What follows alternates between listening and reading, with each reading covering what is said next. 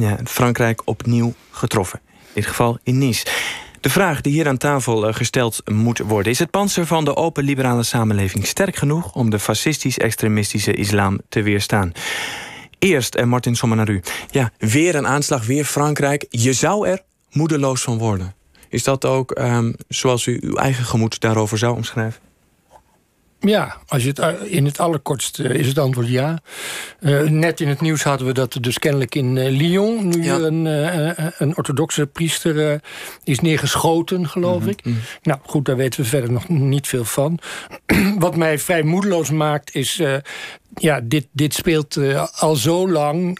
die aanslagen, met name in Frankrijk, speelt het al heel erg lang.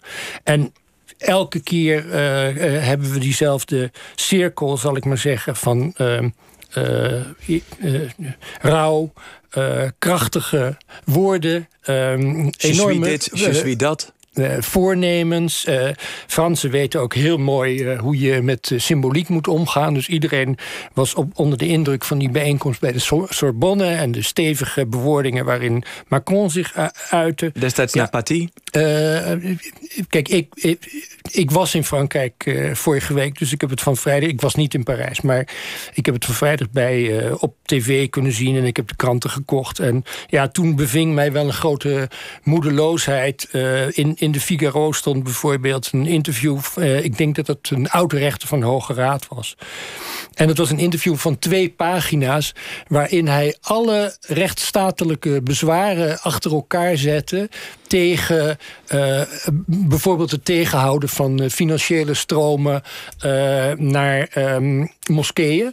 wij hebben hier zelf vorig jaar een onderzoek gehad van de Tweede Kamer. naar precies dit fenomeen dat in de blubber is vastgelopen. Ja. Financiering uit, uit onveilige landen. Ja, uitzetten van uh, imams. Onvrije landen ik, overigens. Ik weet niet hoe vaak ik het al gehoord heb. Uitzetten van imams. We gaan nu hmm. imams uitzetten.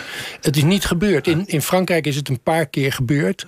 Uh, in Nederland wordt er ook al eindeloos over gesproken. En, en vergis je niet, want een van mijn collega's stelde mij de vraag... Um, ja, waarom hebben wij eigenlijk geen aanslagen in Nederland? Maar we hebben natuurlijk wel aanslagen in Nederland gehad. Dus dat, dat geeft al aan dat wij in Nederland... een soort uh, verdringingsmechanisme hebben... in de van ja, we, die Fransen die zijn altijd zo radicaal met hun, uh, met hun laïcité. En die, die willen helemaal niks van godsdienst. En die zijn ook zo radicaal met die, met die tekeningen van Mohammed. En, en, en daar zijn wij toch allemaal heel gematigd in. Maar het is niet anders. Het is gewoon hetzelfde hier. Is dat ook een grote naïef?